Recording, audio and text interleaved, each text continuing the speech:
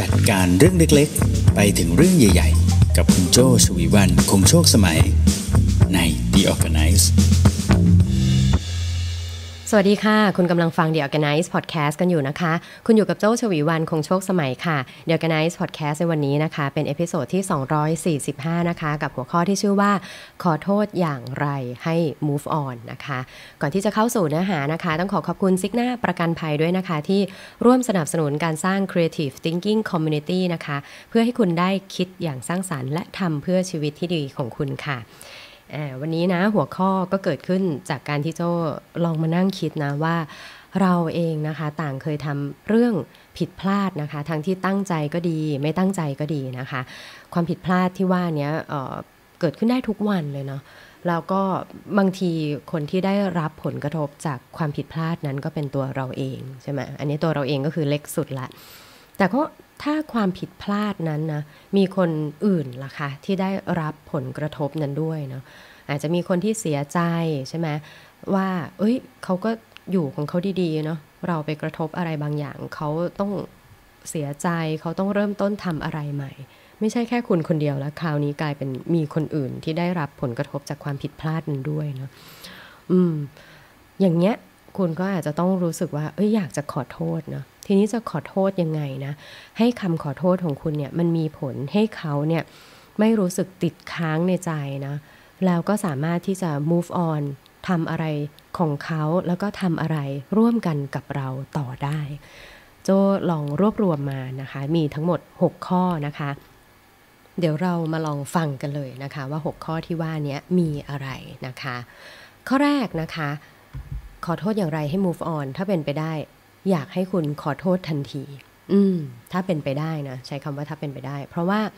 บางครั้งเนี่ย คนที่คุณคุยด้วยเขาอาจจะแบบ โอ้ย ไม่ไหวแล้วเดินหนีไปเลย หรืออะไรแบบนี้นะคะ คุณประเมินสถานการณ์ณตอนนั้นนะว่าขอโทษทันทีเนี่ยทำได้ไหม ถ้าทำได้นะ คุณเชื่อไหมว่าคำขอโทษเนี่ยถ้าเอ่ยขึ้นในช่วงเวลาที่ถูกต้องนะ มีค่ามากกว่าคำพูดอีกหลายล้านร้อยร้อยคำเลยนะ ที่คุณเตรียมมาเพื่อที่จะอธิบายอะไรเยอะแยะมากมาย พอคุณรู้ว่าจะต้องขอโทษเนี่ยขอโทษคำนี้มีค่ามาก ๆเลยนะ แต่ก็ต้องจำไว้อีกอย่างหนึ่งนะว่าคำนี้จะมีค่าก็ต่อเมื่อคุณไม่ได้ใช้มันอย่างพร่ำเพรื่อ ขอโทษแล้วขอโทษอีกแบบนี้เนาะมันก็จะทำให้คุณรู้สึกคนที่ฟังคุณขอโทษเนี่ย เขาก็รู้สึกว่าอืมคุณพูดไปอย่างนั้นอะคุณอาจจะไม่ได้ตั้งใจก็ได้ สิ่งที่ทำให้คำขอโทษนั้นศักดิ์สิทธิ์คือคุณไม่ได้ใช้มันพร่ำเพรื่อ และคุณจะพยายามไม่ให้คำขอโทษนี้เกิดขึ้นบ่อยเกินไปนะคะ อันนี้ก็คือข้อแรกนะ ถ้าเป็นไปได้ให้ขอโทษทันที แต่จำไว้ว่าคำนี้จะศักดิ์สิทธิ์และมีค่าก็ต่อเมื่อคุณไม่ได้พูดมันอย่างพร่ำเพรื่อจนเกินไปนะคะ ต่อมาข้อที่ 2 ค่ะ ขอโทษอย่างไรให้ move on นะคะ อยากให้คุณอดทนฟังอีกฝ่ายพูดให้จบนะ คุณเองก็ทนไม่ได้ใช่ไหมคะ ที่เวลาที่ขอโทษไปแล้วเขาก็สวนอะไรกลับมานะอันนี้คุณก็ต้องยอมรับนะว่าบางครั้งคุณขอโทษเสร็จปุ๊บเขาอาจจะต่อว่าหรือว่าเขาอยากจะพูดอะไรบางอย่าง ให้เขาพูดเนาะให้เขาพูดเลย ตั้งใจฟังอย่างมีสตินะคะ บางครั้งคำต่อว่านั้นนะอาจจะเป็นจินตนาการของเขา แล้วมันไม่ได้ตรงกับความเป็นจริงนะเขาไม่ได้คุณไม่ได้เป็นอย่างที่เขาพูดเลยเออคุณอยากจะสวนกลับไปเดี๋ยวนั้นมาก ๆเลยนะโจ้เคยลองนะคือก็เคยมีข้อพิพาทมีต้องถกเถียงอะไรกับใครบางคนนะคะ แล้วเราก็ควบคุมอารมณ์ตัวเองไม่ได้พอดีว่าสิ่งที่เขาพูดนะตอนนั้นโหมัน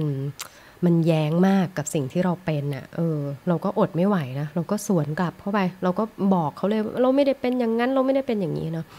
ปรากฏว่าบทสนทนานั้นนานมากเลย ประมาณ 20 นาทีได้ แล้วเราพอจบบทสนทนานั้นหมดแรงเหมือนกันนะคะ แล้วเราก็พยายามที่จะไปอธิบายให้พี่อีกคนหนึ่งฟัง คือเราจะเอาบทสนทนานี้ไปปรึกษาเขา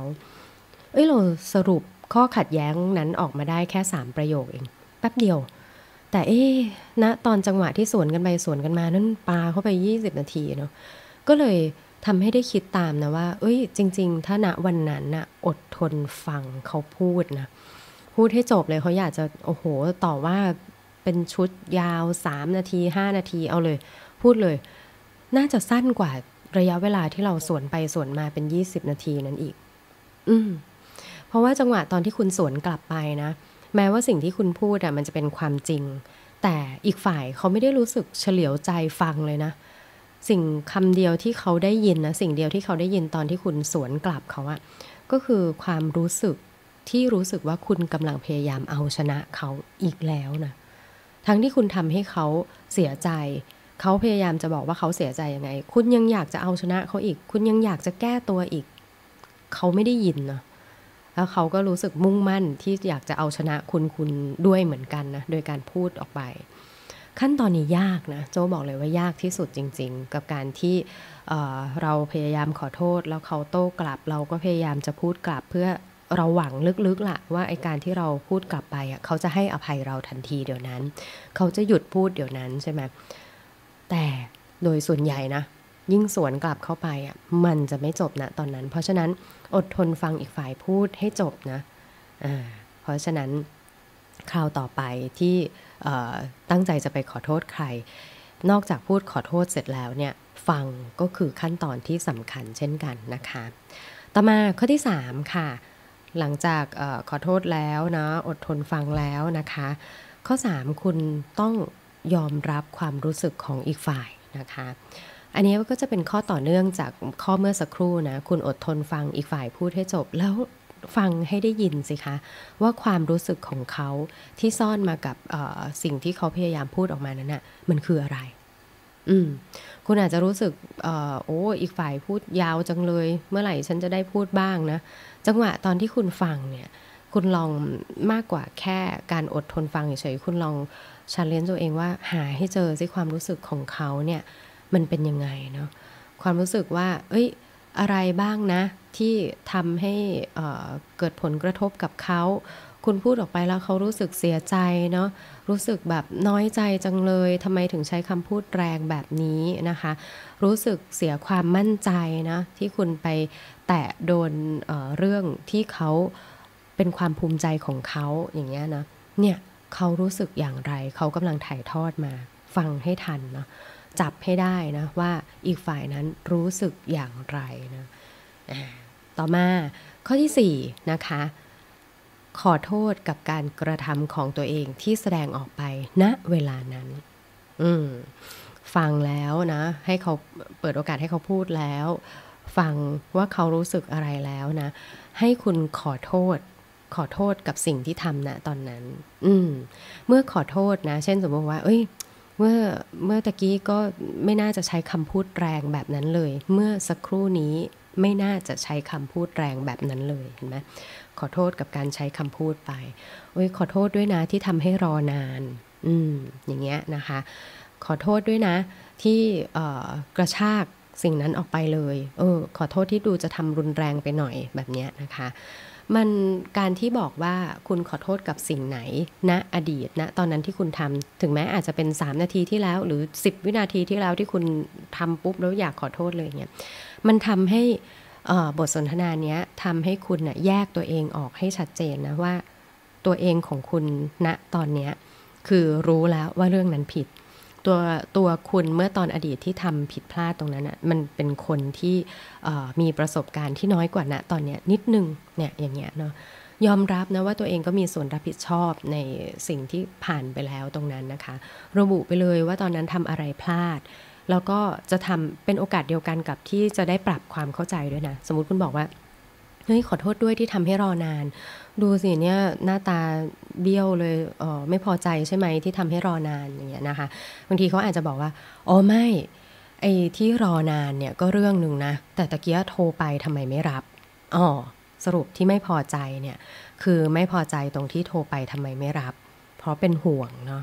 รอนานเนี่ยก็เรื่องหนึ่งแต่สิ่งที่รู้สึกไม่พอใจมากกว่าคือ โทรไปแล้วไม่รับทำไม ถ้ารับแล้วก็จะคลายความเป็นห่วงลงไปแบบนี้เป็นต้นนะคะ เพราะฉะนั้นข้อที่4นะขอโทษกับการกระทำของตัวเองที่แสดงออกไปณนะตอนนั้น คุณจะได้โอกาสในการรีเช็คด้วยว่าเขาเนี่ยไม่พอใจในเรื่องเดียวกันกับที่คุณเข้าใจหรือเปล่านะคะ ต่อมาข้อที่ 5 ค่ะ บอกสิ่งที่ตัวเองพยายามจะทำในอนาคตนะคะ คือเราขอโทษแล้วใช่ไหมเราฟังนะสิ่งที่เขาพูด เรารู้แล้วว่าเขารู้สึกยังไง เราขอโทษชี้เฉพาะเจาะจงเลยนะว่าเราขอโทษในสิ่งที่เราทำเรื่องนั้นเรื่องนี้ และเราบอกสิคะนี่เพราะเราต้องการให้ move on ใช่ไหมจากตรงนี้เสร็จแล้วเนี่ยในอนาคตจะไม่ทำให้เรื่องนี้เกิดขึ้นได้อย่างไรนะนี่คือสิ่งที่จะทำให้ move on ได้นะเป็นมันเป็นการบอกว่าคุณไม่อยากทำให้เรื่องผิดพลาดเนี้ยเกิดขึ้นอีก คุณไม่อยากให้ความเสียใจเนี้ยเกิดขึ้นอีก อืม เราในวันนี้นะต่างจากเรานะตอนที่ทำสิ่งผิดพลาด และเราในอนาคตเนี่ยก็อยากจะทำสิ่งที่มันดีกว่านี้ด้วยเนาะเสร็จแล้วก็อย่าลืมลองถามเขาด้วยนะว่า เออ เราปรับแบบนี้โอเคไหมคุณคิดว่าอยากให้อนาคตเป็นยังไงบ้างนะซึ่งอีกฝ่ายอาจจะบอกว่า โอ้ไม่เป็นไร แค่ปัจจุบันเนี้ยดีขึ้นก็พอแล้วก็เคยมีเนาะเออ โจยกตัวอย่างอย่างเพื่อนโจทะเลาะกัน จริงๆก็เพื่อนโจทั้งคู่เลยทั้งผู้หญิงผู้ชาย ผู้ชายเป็นคนขับรถนะคะะผู้หญิงเป็นคนขับรถนะคะ แล้วก็ผู้ชายนั่งอยู่ในรถด้วยกัน ปรากฏว่าทะเลาะกันนะ แล้วเพื่อนโจที่เป็นผู้หญิงที่ขับรถก็บอก ลงไปเลย ไม่เอาไม่คุยด้วยแล้ว ลงไปเลยเนาะเพื่อนผู้ชายเนี่ยก็บอกว่าทะเลาะกันทีไรนะเวลาอยู่ในรถเนี่ยทะเลาะกันทีไรเพื่อนผู้หญิงเนี่ยก็ไล่ทุกทีเลย แล้วเขาก็ไม่เคยลง ก็เถียงกันต่อไปจนไปจนถึงสุดปลายทางที่เขาจะไปขับรถไปด้วยกัน ปรากฏว่าวันนั้นเพื่อนผู้ชายโจ้อะก็รู้สึกว่าเฮ้ย ไม่อยากแล้วอะไม่อยากเป็นอย่างนี้ต่อไปเรื่อย ๆ แล้ว ไหนลองทำต่างจากทุกครั้งสิ ทุกครั้งอะพอเวลาเขาไล่ลงจากรถ เพื่อนโจ้ไม่ลงใช่ไหมปรากฏคราวนี้ พอเพื่อนผู้หญิงที่ขับรถบอกว่า ลงไปเลย เพื่อนผู้ชายโจ้อ้าวลองดูสิเผื่อคราวนี้มันจะต่างออกไป พื่อนผู้ชายโจ้ก็เปิดประตูลงไปเลย เพราะว่าจังหวะตอนตอนที่ทาให้ลงเพื่อนโจ้ก็เพื่อนผู้หญิงก็จอดใช่ไหมลงไปเลย ไม่คุยแล้ว เพื่อนผู้ชายก็เปิดประตู แล้วก็ลงไปอย่างโดยดี เหตุการณ์ต่างไปต่างนะคือหนักกว่าเดิมเเพื่อนผู้หญิงก็ไม่ได้ขับรถออกไปนะ เพื่อนผู้หญิงก็ยังจอดอยู่ตรงนั้น แล้วก็ร้องไห้ใหญ่เลยนะคราวนี้กลายเป็นเรื่องใหญ่เรื่องโตนะเพื่อนผู้ชายก็อ้าว ก็เลยเปิดประตูนะคะ แล้วก็กลับเข้ามาแล้วก็ถามว่าอ้าวก็บอกให้ลง ทุกครั้งก็ไม่เคยลงคราวนี้เลยลองลงไปดู เพราะเพื่อนผู้หญิงก็เสียใจมากเลยเนาะการที่เขาลงจากรถไปเนี่ยเพื่อนผู้หญิงก็บอกเลย อ้าวลงอย่างเงี้ย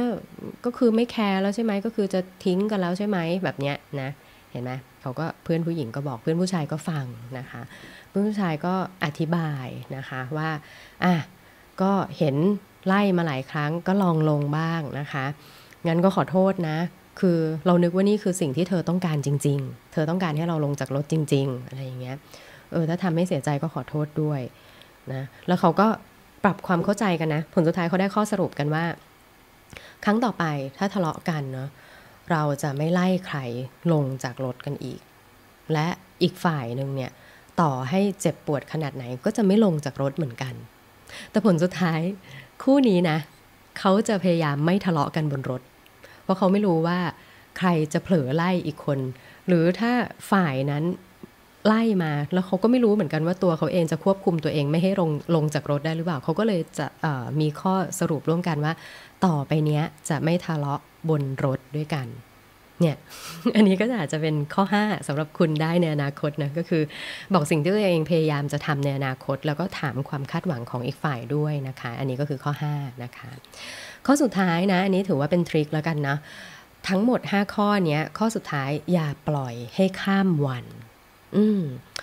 คำขอโทษเนี่ยนะคือถ้าเป็นไปได้นะเจ้าได้เรียนรู้จากประสบการณ์ใหญ่ ๆ ในชีวิตหลายเรื่องนะคะว่า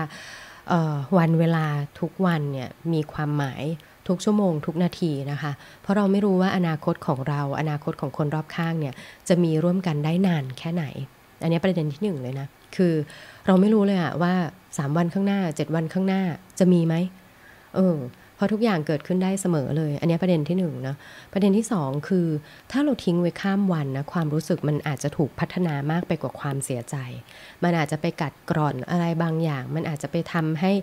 หลายเรื่องที่ควรจะเกิดขึ้นได้ดีกว่านี้เนี่ย อาจจะไปตัดตอนไม่ให้เกิดสิ่งที่ดีกว่านี้ เพียงเพราะความเสียใจเนาะเพราะฉะนั้นอย่าปล่อยให้ข้ามวันนะคะ อันนี้ก็คือทริคข้อสุดท้ายนะคะ ทวนกันอีกสักครั้งนะคะ ขอโทษอย่างไรให้ move on ต่อไปได้นะคะ เจ้ารวบรวมมาให้มี 6 ข้อ ข้อแรกถ้าเป็นไปได้นะคะ ให้ขอโทษทันที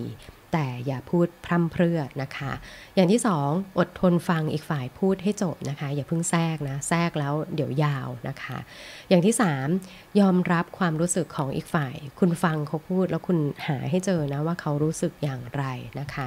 ข้อ 4 ขอโทษกับการกระทำของตัวเองที่แสดงออกไปณตอนนั้นนะคะ โอกาสนี้คุณก็จะได้ปรับความเข้าใจด้วยว่าเรื่องอะไรนะที่ทำให้อีกฝ่ายรู้สึกเสียใจนะคะ อย่างที่5นะคะบอกสิ่งที่ตัวเองพยายามจะทำในอนาคตนะคะแล้วก็ฟังความคาดหวังของอีกฝ่ายด้วยว่าเห็นด้วยไหมกับสิ่งที่คุณอยากจะปรับปรุงในอนาคตนะคะ แล้วก็ข้อสุดท้ายอย่าปล่อยให้ข้ามวันนะคะ ข้ามวันแล้วความรู้สึกนั้น อาจจะพัฒนาไปเป็นความรู้สึกอื่น หรือมันอาจจะไปตัดตอนอสิ่งดีๆ ที่อาจจะเกิดขึ้นได้เพียงเพราะเขารู้สึกเสียใจที่สำคัญใครจะรู้คะว่าอนาคตข้างหน้าของคุณและเขามันมีมาก น้อยสั้นยาวแค่ไหนกันนะคะ หวังว่าจะได้ประโยชน์นะคะ อันนี้ก็คือ 6 ข้อที่โจเตรียมมาเพื่อให้คุณขอโทษได้ แล้วก็ move on ต่อไปได้นั่นเองนะคะ ถ้าชอบใจเนื้อหานะคะ อย่าลืมกดติดตามกันนะคะ ในทุกช่องทางที่คุณใช้ฟังพอดแคสต์อยู่ตอนนี้นะคะ ถ้าฟังผ่าน YouTube นะคะ อย่าลืมกด subscribe กดสั่นกระดิ่งนะคะ จะได้ไม่พลาดทุกเนื้อหาจาก The Organice นั่นเอง จาก The Organize แล้วก็จาก Creative Talk ด้วยนะคะ เอาล่ะ วันนี้ลากันไปประมาณนี้นะคะ ขอบคุณสำหรับการรับฟังนะคะ โจ้ ฉวีวรรณ คงโชคสมัย Managing Director บริษัท RGB 72 และ Creative Talk จนกว่าจะพบกันใหม่ใน episode หน้า สวัสดีค่ะ